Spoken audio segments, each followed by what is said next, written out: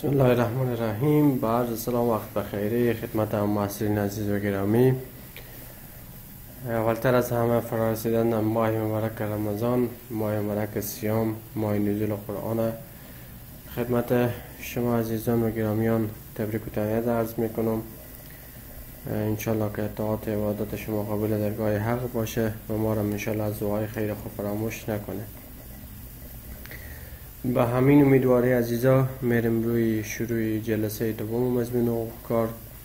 اگر یاد شما باشه در جلسه قبل در قسمت مفردات حقوق کار با شما بحث کردیم. در قسمت مفردات ای سمستر که کدام موارد شامل بحث ما میشه کلا توضیح دادیم. و جلسه قبل شروع کردیم در قسمت بحث اولی. ما شما در قسمت سیر تحول روابط حقوق کار. یعنی پیدایش کار اگر یاد شما شما گفتین که با چهار دوره تقسیم میشه.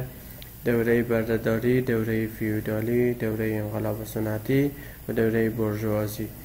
که هر کدام از این دوره ها رو مفصل با شما بحث کردیم جزئیات خدمت شما ارائه کردیم. لازم به ذکر که عزیزا در جلسه گذشته ما مضمونم خدمت شما معرفی کردیم. البته نام کتاب گفتیم ما از کتاب درس بینیم به نام کتاب کتاب حقوق کار از آقای میر حسین تلاش نویسنده ازی هست. خب اگر فرصت باقی بود انشالله از جلد کتاب عکس هم خدمت شما انشالله داخل سلاید جاگوزین می‌کنیم. خب بس ما امروز ما و شما قسمی که جلسه گذاشته گفتم در که انشالله می‌خوانم به جلسه. در مورد تعریف و آشنایی با اصطلاحات حقوق کار هست. تعریف ابتدایی ما شما تعریف کار است. عزیزا ما کار ابتدا تعریف می‌کنیم. بعد از تعریف کار انشالله میریم دو روی دیگه مسائل دیگه تعریف. کار در لغت معنای پیشه شغل عمل جنگ رزم کش زراعت و غیره. تکرار می‌کنم. کار در لغت اگر اصطلاح لغوی کار به این بررسی بکنیم میگیم کار در لغت معنای پیشه کار در لغت معنای شغل کار در لغت معنای عمل عمل معنای فعالیت کار در لغت معنای جنگ کار در لغت معنای کشت کار در لغت معنای زراعت و غیره. اگر این کار اصطلاحی تعریف بکنین یکی تعریف کار از لحاظ اصطلاحی تعریف می‌کنیم یکی هم کار از لحاظ حقوقی تعریف می‌کنیم. عزیزا این دو تعریف از دیگر تفکیک کنین. کار از لحاظ اصطلاحی تعریف می‌کنیم و کار از لحاظ چی؟ از لحاظ حقوقی. کار از لحاظ اصطلاحی تعریف می‌کنیم عبارت از انجام دستور ذهنی و جسمی است که زندگی بشر با انجام و چکار میشه؟ سر و سامان پیدا می‌کنه عبارت از انجام دستور ذهنی و جسمی است که زندگی بشر با انجام آن سر و سامان پیدا می‌کنه این تعریف چی بود؟ تعریف اصطلاحی کار. کار عبارت از انجام دستور ذهنی و جسمی است که زندگی بشر با انجام و سر پیدا می‌کنه و اگر ادامه بدیم میگن زندگی بشر به وسیله و یا با انجام سر و سامان پیدا می‌کنه و بقای حیات به وسیله آن تحقق میپذیره خب این بود تعریف اصطلاحی کار. تعریف حقوقی کار یا تعریفی که کار در علم حقوق از کار شده. میگن در علم حقوق کار عبارت از انجام عملی است که توسط کارگر به دستور کارفرما در مقابل ماز معین صورت می‌گیره. حقوق یا علم حقوق کار چگونه تعریف کرده؟ دقت کنیم عزیزا. علم حقوق گفته کار عبارت از انجام عملی است که توسط کارگر و دستور کارفرما در مقابل مزد معین انجام میشه یا صورت میپذیره. خب بحث بعدی ما شما یا تعریف بعدی ما شما تعریف کارگر و کارفرما هست. اول تعریف کارگر و مشخصات خدمت شما عرض می‌کنیم. کارگر از لحاظ لغوی بررسی می‌کنیم به معنای کار کننده کسی که در کارخانه یا کارگاه برای کارفرما کار انجام میده. خلاصه کارگر معنای چی؟ معنای کار کننده و در اصطلاح حقوق اگر خواسته باشیم کارگر تعریف کنیم عبارت از شخص حقیقی است که به دستور کارفرما در مقابل مزد معین کار انجام میده. تکرار می‌کنم. کارگر در اصطلاح علم حقوق کارگر عبارت از شخص حقیقی است که به دستور کارفرما در مقابل مزد معین کار انجام میده. با اساس از این تعریف کارگر دارای سه مشخصه. با اساس از تعریف خدمت شما گفتم کارگر دارای چند مشخصه؟ دارای سه مشخصه. مشخصه اول گفتین کارگر عبارت از شخص حقیقی است که. پس مشخصه اول چی شد؟ حقیقی بودن کارگر. به دستور کارفرما کار انجام میده. به دستور کارفرما انجام کار به دستور کارفرما.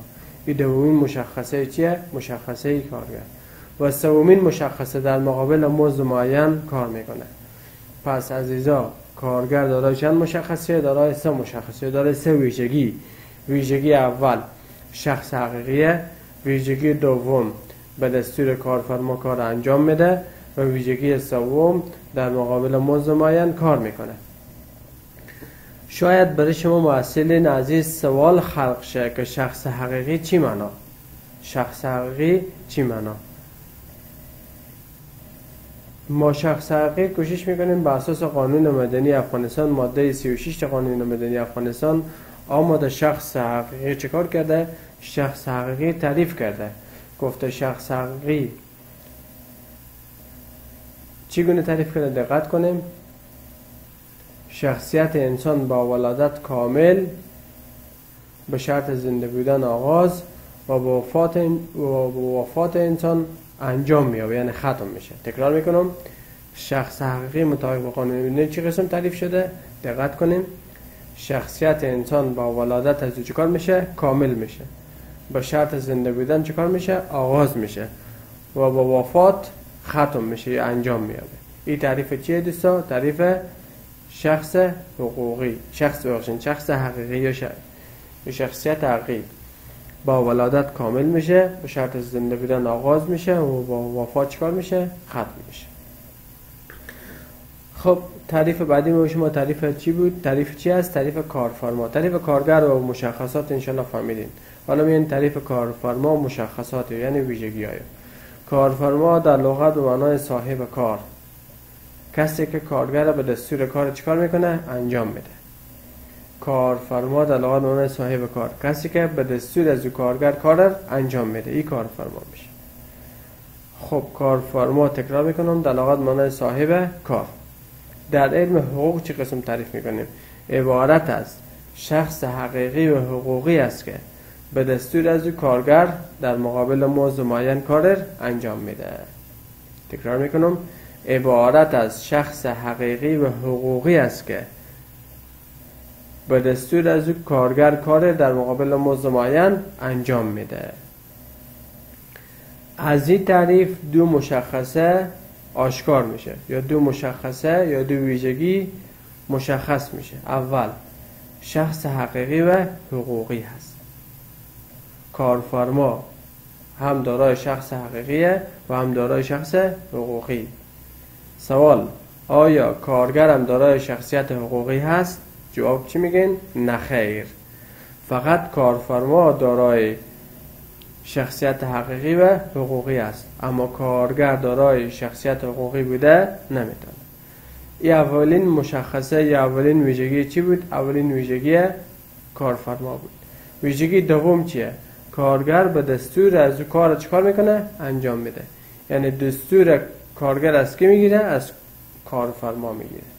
و نه دو مشخصه. اول شخص حقیقی و حقوقیه دوم کار به دستور کارفرما چیکار می‌کنه؟ انجام میده. این مشخصات چیه؟ مشخصات کارفرما. پس یک تعریف شد و از رو تعریف دو مشخصه هم یا دو ویژگی هم برای چیکار شد؟ ظاهر شد و مشخص شد. قانون مدنی افغانستان اگر بیا سوال خلق میشه به شما عزیزا که اونجا ما شخص حقیقی تعریف کردیم. این جنبه چیکار کنیم؟ در مقابل شخص حقوقی تعریف کنیم که شخص حقوقی چی قسمه؟ هر گفتیم شخص حقیقی عبارت شخصی است که ولادت کامل به شرط زندگی آغاز و وفات انسان چیکار میشه؟ ختم میشه. اما اینجی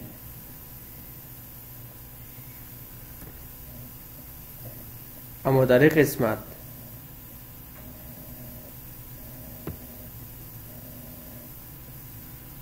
شخصیت حقوقی بر اساس قانون مدنی ماده چندم قانون مدنی ماده 337 قانون مدنی افغانستان چی میگه؟ شخص حکومی معسلین گرامی و عزیز. شخص حکومی بانای چی؟ شخص حقوقی. چی بگیم شخص حقوقی؟ چی بگیم شخص حکومی هیچ فرقی نمی‌کنه. اما یاد شما باشه که شخص حکومی شخص حقیقی گفته نمی‌توانیم. تکرار می‌کنم تعریف ماده 337 قانون یک بار خدمت شما عرض می‌کنم شخص حکومی یعنی شخص حقوقی شخصیت معنوی است که واجد اهلیت حقوقی بوده و بنابر اهداف معین به شکل مؤسسه شرکت یا جمعیت تشکیل میشه. این تعریف چی بود؟ تعریف شخص حقوقی یا حکمی. تکرار می‌کنم شخص حقوقی شخصیت معنوی است که یا شخص حکمی شخصیت معنوی است که واجد اهلیت حقوقی بوده و بنابر اهداف معین به شکل مؤسسه شرکت یا جمعیت تشکیل میشه. اهلیت حقوقی یعنی صلاحیت از او چکار داشته باشه؟ یعنی صلاحیت داشته باشه؟ یعنی اداره توسط امضای فرد بالاتر همون موقف از او به رسمیت چکار شه؟ شناخته بشه. ای بود تعریف چی؟ تعریف شخص حقوقی. حالا ماده 338 قانون مدنی آمده گفته شخصیت حکومی یعنی شخصیت حقوقی به چند نوه؟ دو نوه. اول شخصیت حکومی یا شخصیت حقوقی عام داریم. و دوم شخصیت حکومی یا شخصیت حقوقی خاص داریم. شخصیت حکومی عام که شامل دولت ارکان ادارات فرعی یا شعبات مربوط به دولت تاسیسات عامه میشه.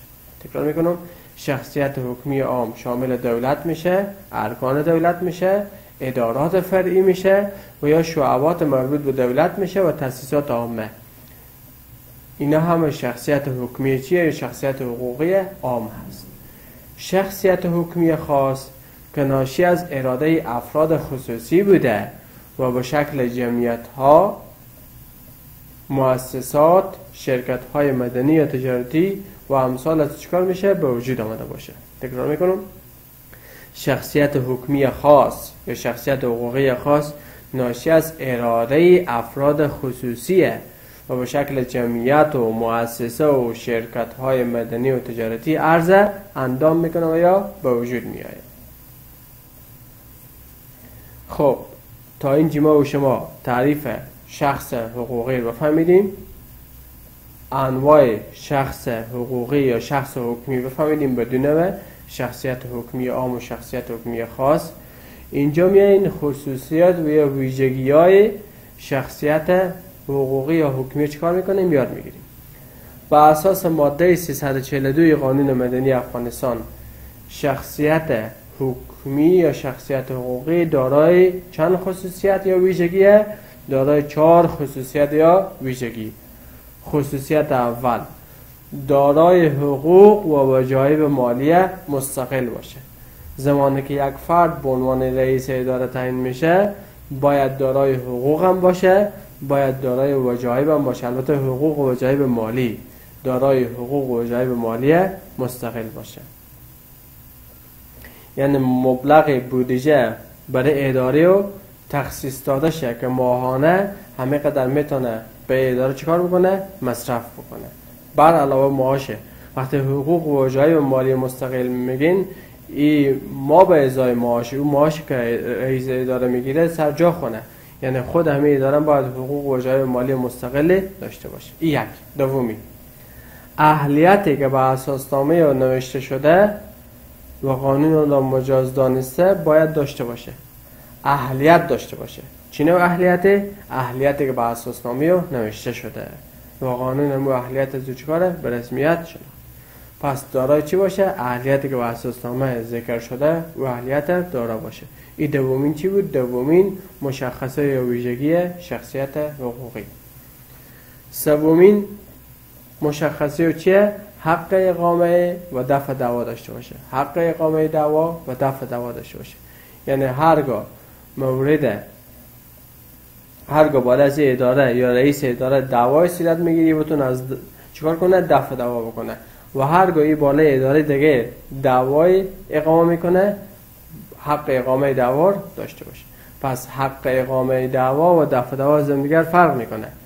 حق اقامه دعوا وقتی عزیزا که پیشتر توضیح بودم که شما بالای کسی ادعا می‌کنه. هرگاه بالای کسی ادعا بکنه یا بالای اداره دیگه شما به عنوان رئیس یک اداره بالای اداره دیگه ادعا می‌کنه. وقتی که شما ادعا بکنیم شما حق چیکار کردیم؟ این دعوا در واقع اقامه کردیم. او بالای اداره دیگه که شما ادعا, ادعا کردیم او باید چیکار بکنه؟ او باید بیاد دعوار دفع بکنه. این دفع دعوای پس کسی که حق اقامه دعوای به عنوان مدعی پنداشته میشه و کسی که دعوا دفع می‌کنه به عنوان مدعا علیه گفته میشه. پس حق اقامه دعوا و دفع دعوار داشته باشه. و آخرین ویژگی یا آخرین مشخصه داشتن اقامتگاه مستقل. یعنی اقامتگاه مستقل داشته باشین. اقامتگاه عبارت از محله که در او اداره مرکزی و واقعه. پس یعنی دفتر و دیوان و تشکیلات و حساب کتاب داشته باشین. این بود عزیزاچی خصوصیات. یا ویژگی های شخصیت حقوقی و یا حکمی. مطابق قانون مدنی ماده چند گفتیم؟ ماده 342 موضوع بعدی ما شما تعریفه تعریف کارگاه. تعریف چی؟ کارگاه. کارگاه در لغت منای کارخانه محل کار جای کار کردن کارگران و غیره. و در اصطلاح حقوق چه قسم تعریف می‌کنیم؟ کارگاه. عبارت از محلی است که کارگر به دستور کارفرما کار در مقابل مزد معین انجام میده. کارگاه عبارت از محلیه که چیکاره؟ کارگاه عبارت از محلی است که کارگر به دستور کارفرما کار در مقابل مزد معین انجام میده. این تعریف چی بود؟ تعریف کارگاه. خیلی واضح و آشکار و ساده. سوال عزیزا آیا هر مکان هر جای می‌تونه کارگاه باشه؟ آیا کارگاه باید حتما جای فیزیکی باشه یا خیر؟ جای فیزیکی نباشه کارگاه شده می‌تونه. سوال.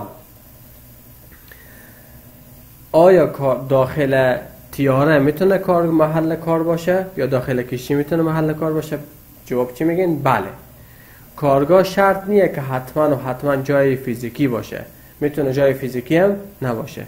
خیلی کشتی های تجارتی هستن که داخل از کشتی ها کارگرای بسیار زیاد چیکار می‌کنن؟ کار می‌کنن. کارگرای بسیار زیاده کار می‌کنن. داخل تیاره زمان که امو خدمه تیاره غذا و سایر موارد در برای مسافرین آماده می‌کنه. در واقع چیه؟ در واقع اینجی کار می او محل کار یانه او کارگاه یانه داخل تیاره کارگاه یانه پس کارگاه شرط نیست که عزیزا فقط مکان چی باشه؟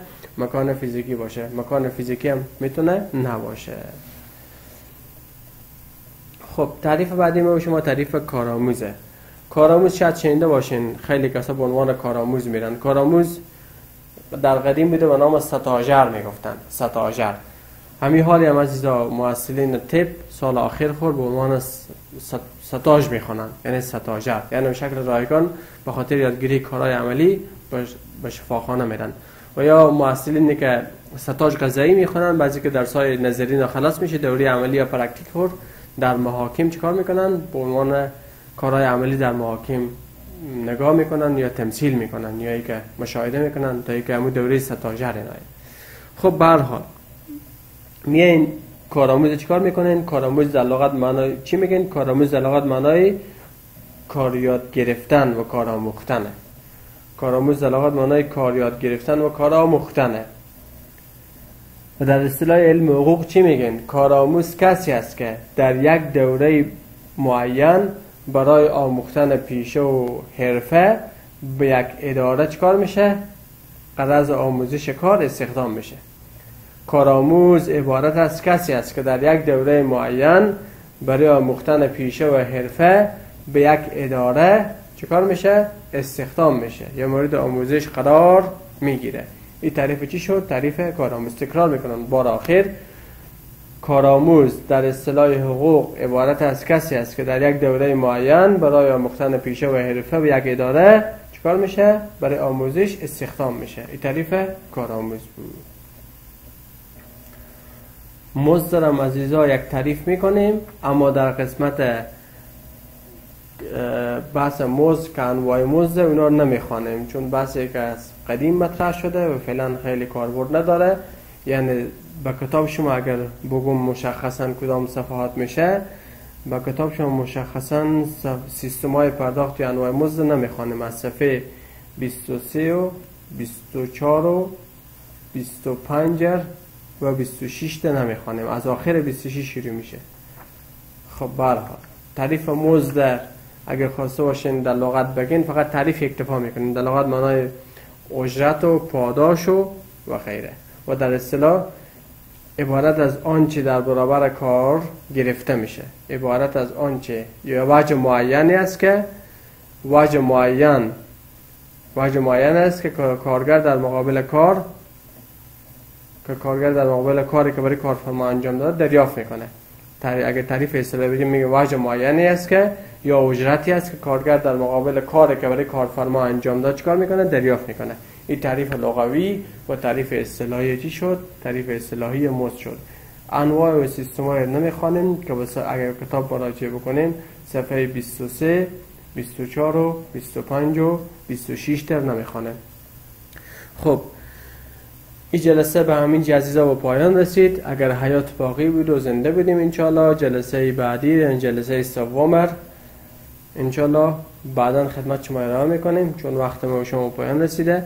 انشالله بحث بعدی ما شما تعریف قرارداد کار و مشخصات قرارداد یعنی ویژگی قرارداد کاره که اگر از کتاب بگم از ختم صفحه 26 همون دو خط سه خط آخر صفحه 26 شروع میشه و الا ختم از بس خب تشکر از حوصله مندی و توجه همگی شما عزیزا. یک بار دیگر تکرار می‌کنم. انشالله شب و روزهای متبرک عزیزا. ما از دعای خیر خو انشالله در هنگام افتار و سحری فراموش نکنین. موفق و سرخرو سلامت و سرفراز باشین. انشالله باز جلسه سوم در خدمت شما قرار خواهیم گرفت. و السلام علیکم و رحمت الله و برکاته.